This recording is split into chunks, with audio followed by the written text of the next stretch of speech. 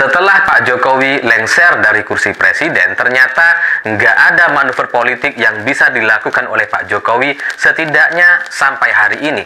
Dan menurut informasi yang saya dapatkan dari informan-informan A1, nampaknya Pak Jokowi sedang menunggu untuk kemudian bisa menentukan langkah selanjutnya. Dan ini sangat sesuai sekali dengan pemberitaan dalam beberapa hari terakhir ini yang nampaknya juga mengacu atau mengarah ke arah yang sama seperti yang disampaikan oleh informan A1 saya karena dalam beberapa hari terakhir ini Pak Jokowi kan coba digoda, coba ditawari untuk kembali ke dalam dunia politik tapi kemudian sampai hari ini Pak Jokowi masih belum menentukan langkah apa-apa. Termasuk ketika coba digoda oleh kelompok Projo gitu ya karena Projo menyatakan bahwa mereka akan berubah dari kelompok relawan menjadi partai politik dan kemudian menginginkan Pak Jokowi untuk menjadi ketua umum partai Projo gitu ya. Ternyata respon dari Pak Jokowi ini jauh dari harapan. Responnya itu sangat dingin dan kemudian tidak menimbulkan perdebatan, tidak kemudian membuat media jadi tertarik untuk kembali memberitakan. Karena ketika Pak Jokowi digadang-gadang atau diisukan bisa menjadi ketua umum partai Projo gitu ya, itu Pak Jokowi nggak merespon apa-apa. Ketika ditanya soal Projo yang katanya akan berubah dari kelompok relawan menjadi partai politik, ketika Pak Jokowi, ketika ini ditanyakan kepada Pak Jokowi, Pak Jokowi juga hanya bilang ya itu terserah Projo. Gak ada kalimat yang bisa diolah setelah itu. Dan ketika Pak Jokowi juga ditanya gitu ya, apa pesan kepada Projo yang akan berubah dari kelompok relawan menjadi partai politik, Pak Jokowi bilang nggak ada. Jadi apa yang coba diupayakan oleh Projo dengan melakukan cek ombak gitu ya, ya harapannya kan Projo bisa jadi partai besar gitu ya, memanfaatkan kebesaran nama Jokowi gitu ya. Itu kan imajinasinya mereka bisa tiba-tiba menjadi partai besar, punya kader di Senayan dan kemudian ikut menentukan arah kebijakan Indonesia untuk beberapa tahun ke depan. Itu kan harapan mereka dan imajinasi uh, kelompok Projo. Tapi ternyata nggak ada respon apa-apa dari Pak Jokowi gitu ya. Dari media, dari masyarakat, netizen pun kayaknya nggak ada yang tertarik lagi untuk bicara soal Projo dan ini nampaknya akan menjadi satu titik akhir perjalanan kelompok relawan di Indonesia. Karena memang di rezim Prabowo Subianto kelompok-kelompok relawan mungkin tidak akan terlalu diperhatikan gitu. Karena ya bagaimanapun Prabowo adalah ketua umum partai nggak perlu relawan gitu. Beda dengan Pak Jokowi ketika memimpin beliau bukan ketua umum partai gitu ya. Sehingga butuh jembatan butuh kelompok relawan untuk menarasikan untuk uh, menyampaikan atau memainkan isu-isu yang diinginkan dan Pak Jokowi bisa tetap aman bersih dari semua isu kelompok relawan gitu ya. Tapi kalau Prabowo Subianto nggak perlu. Karena pra, Pak Prabowo adalah ketua umum partai. Ngapain butuh relawan? Jadi jadi karena mungkin nasib atau cerita kelompok relawan di Indonesia ini menjadi tidak baik-baik saja atau rawan dan nggak aman, mungkin juga nggak akan dimanfaatkan atau tidak dilibatkan dalam beberapa tahun ke depan. Setahun dua tahun ini mungkin juga akan selesai semua itu kelompok-kelompok relawan gitu ya. Makanya Projo ingin berubah menjadi partai politik gitu. Tapi nampaknya Pak Jokowi, masyarakat, kelompok relawan juga yang lain tidak memberikan respon yang positif gitu. Karena kalau Projo ingin bertahan gitu ya, nggak bisa kemudian mereka uh, mengikuti Prabowo Subianto karena Prabowo adalah ketua partai gitu. Beda misalkan kalau Projo mau menjadi organisasi sayap Gerindra misalkan, mungkin itu bisa dilakukan, tapi kan itu mungkin mereka nggak mau untuk melakukan itu. Jadi yang mungkin bisa membuat mereka bertahan kelompok relawan ini adalah lewat atau via wapresnya yaitu Gibran Raka Buming Raka. Tapi Gibran juga sudah punya kelompok relawan yakni Bolone Bolone Mase gitu sehingga Projo kayaknya sulit untuk kemudian bisa masuk ke sana.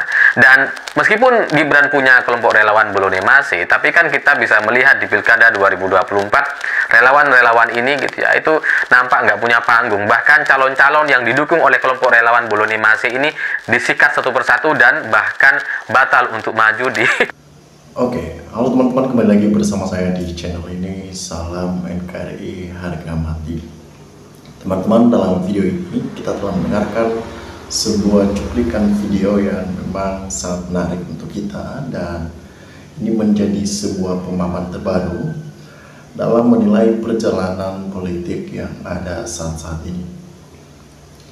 Kita sebagai masyarakat Indonesia yang baik perlu kita tahu bagaimana dinamika-dinamika politik yang terjadi di Indonesia.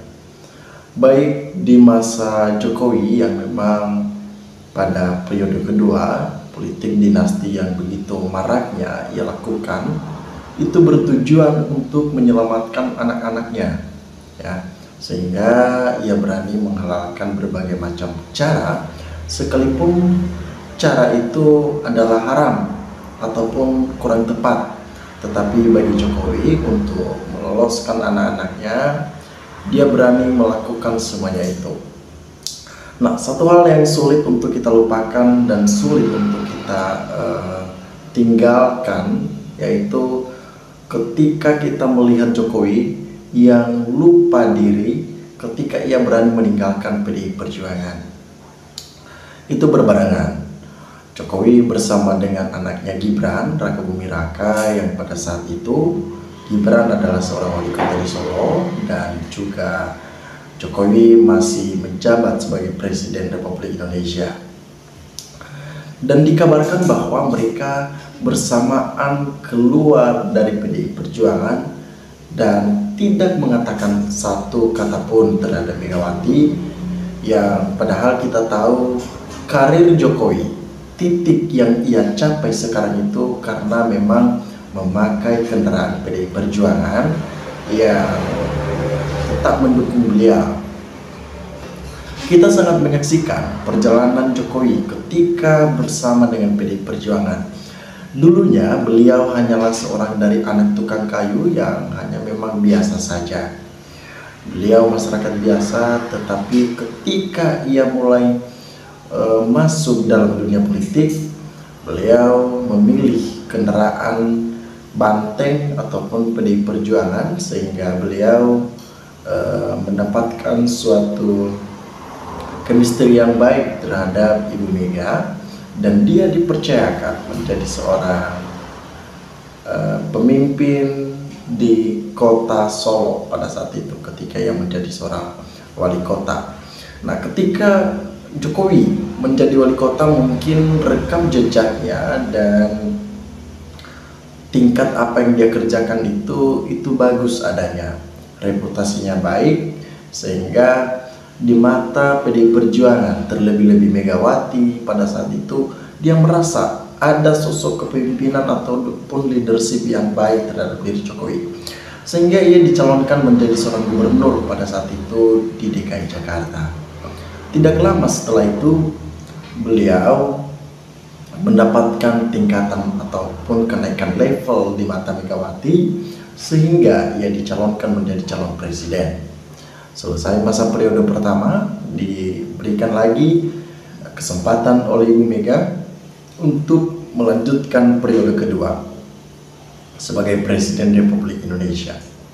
Nah, di sini kita menyadari bahwa kecintaan seorang Megawati terhadap Joko Widodo itu sangatlah besar. Artinya, eh, dia sudah menganggap Jokowi adalah seorang anak yang memang berbakti kepada orang tuanya nantinya ketika sudah berhasil. Tetapi semuanya itu telah sirna, semuanya itu telah pudar.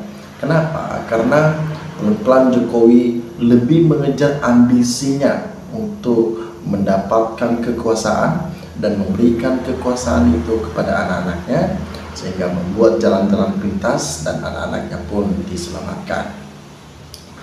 Nah, teman-teman saya akan membacakan beberapa komentar ketika di judul video ini nantinya Jokowi mau balik ke PDIP. Kenapa? Karena dikabarkan pada saat itu Jokowi akan e, berkecimpung ataupun masuk di Partai Golkar. Ternyata Bahlila yang lebih memilih menjadi seorang ketum dari Partai Golkar dan masih banyak hal-hal lain. Nah, komentar di sini e, dari Iham mengatakan saya berharap Bu Mega tidak menerima Mulyono kembali ke PDIP lagi. Kenapa mereka mengatakan itu? Karena mereka tidak mau lagi si Mulyono ini mengkhianati kedua kalinya Bu Mega. Mereka tidak mau lagi terjadi hal sedemikian karena mereka cinta kepada Ibu Mega, mereka sayang kepada PDI Perjuangan. Nah,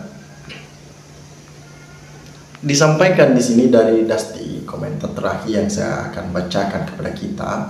Tanpa Jokowi pun semoga menjadi lebih baik Pak Jokowi untuk pelajar pelajaran untuk PDIP mencari yang loyalitas itu tidak mudah. Jangan buka pintu untuk pengkhianat.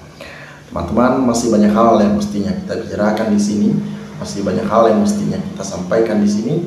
Silakan teman-teman sampaikan apa yang menjadi komentar teman-teman saran teman-teman sehingga kita dapat bertukar pikiran antar satu dengan yang lain lewat kolom komentar ini. Terima kasih teman-teman. Lensa Netizen melaporkan